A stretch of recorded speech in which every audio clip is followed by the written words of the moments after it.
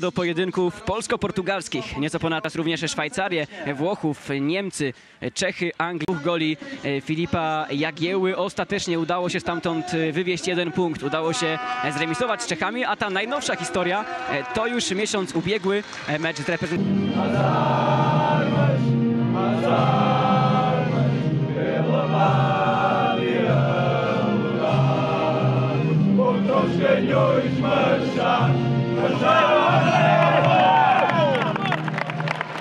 Portugalia, a teraz przejdziemy do składów obu drużyn. Zacznijmy od gości, od drużyny portugalskiej. W bramce numerem pierwszym jest João Virginia.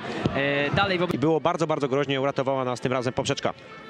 Ale Zegomesz, a więc ten, który strzela. Daleki, chociaż zobaczmy, rozgrywa piłkę. Zobaczymy, czy teraz doskoczymy. No ryzykownie grają Portugalczycy. Tak, ale po Biega chwili tam. musi tą piłkę wyeksplodować daleko, bo Adam Ryszkowski też zmagał się z wieloma kontuzjami. Jak na razie ten powrót do gry, na razie Chonice mu służą, bo nieźle prezentuje się na Pestka do środka, do Mystkowskiego. Mytko, Mystkowski technicznie. Prosto rękawicę Jean Virginie. Tak, uderzenie wewnętrzną częścią stopy. Niestety tutaj nie było to mocne uderzenie.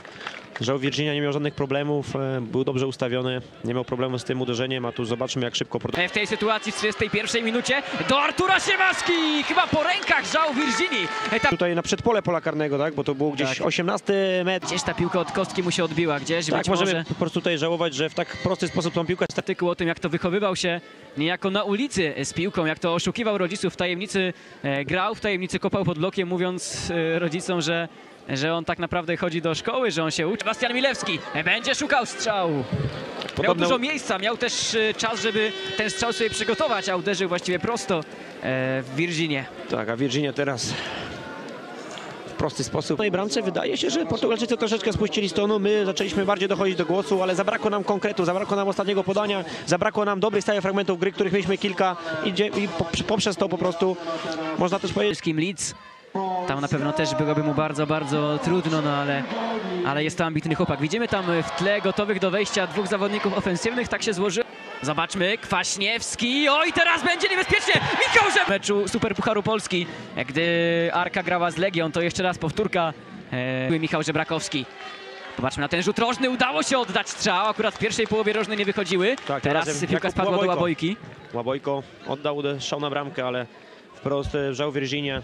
O, niedokładnie, Teraz zdążył się wrócić Aleš Pinto. Tak, zbyt szybko tym razem e, Kuba Łabojko zagrał piłkę tam, e, gdzie przed chwilą była, było tam już ciasno i po prostu wśród portugalskich dziennikarzy, wśród portugalskich kibiców, bo powoli będzie y, odchodzić pewna w stadionie. Może teraz Ambrosiewicz, Ambrosiewicz pole karne, ale już nie miał za bardzo z czego uderzać, jak to się mówi. Z potrzebie strzelał Aż niewiarygodne, że aż tak e, przedarł się tam Ambrosiewicz, bo przecież tam było tylu zawodników, że tylko szybko pomyślałem, żeby jak najszybciej Nie, w tych końcowych minutach. po w kartoniku bardzo szybko wznowił grę. Portugalczycy już w tej końcowej fazie chyba nie będą szukali rozegrania piłki, tak, żał Virginia, daleki wykop. I